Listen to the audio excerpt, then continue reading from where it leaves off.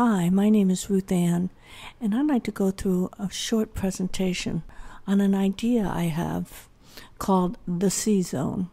So, where it started is where I live in Northwest, in Northwest Portland's Old Town, Chinatown neighborhood. Here's a quick look to give you an idea if you're unfamiliar with the district.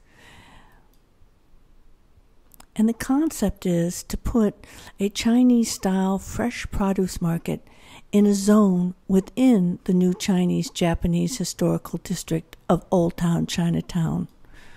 In other words, this is a historical district within the Old Town Chinatown neighborhood, and it's the district I live in.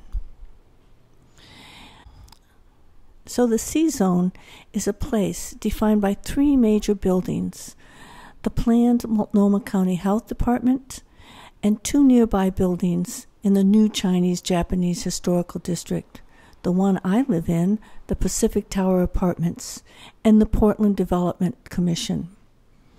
This zone represents a cluster of residents and employees with common needs. You need to know that there is not a fresh carrot in the district, and basic services really don't exist much at all in the neighborhood. It's a fresh food desert. So let me explain the C zone a little more in detail. A new building is going in our neighborhood, and it's the Multnomah County Health Department. And this is a view of how the building will sit. And I'm going to define the zone as kind of a V that incorporates and connects this new building with the new Chinatown, Japan district. Another way to look at this is using a Google map, looking south. To start here, and you can see the building isn't there yet, but it soon will be over the next couple years, and to travel over uh, south to the Pacific Tower Apartments. Actually, to the right of it, you can also see uh, the Old Town Loft building. There are many residents living in these two buildings. And then going over south again to the Portland Development Commission, the PDC building. So I think these three buildings as anchors to my C zone. So the principle here is pretty easy that buildings, be they homes or apartments or businesses, uh, equal employees and residents, and they equal customers uh, for green products and services, particularly to start with food. The C zone is really about not just carrots, but about customers new health department uh, employees. There'll be hundreds of them, 350.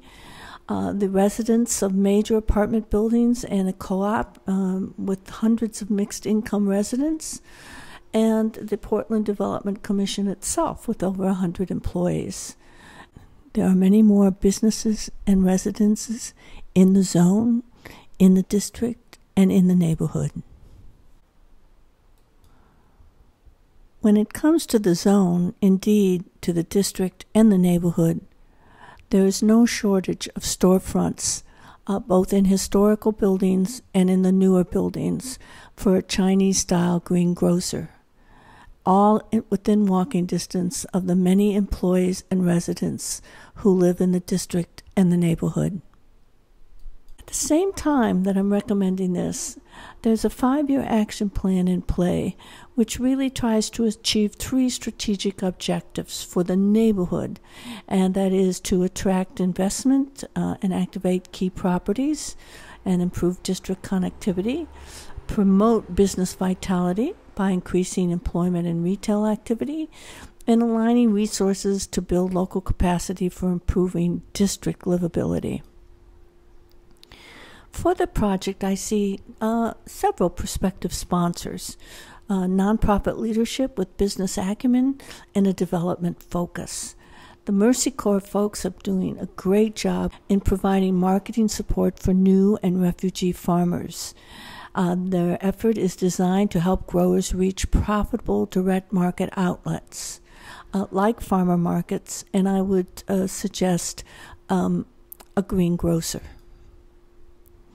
Finally, and there's the PDC. They have a community livability grant program um, where they have dedicated dollars uh, to improving buildings and uh, to combine those with in kind contributions uh, from nonprofit sponsoring organizations and property owners.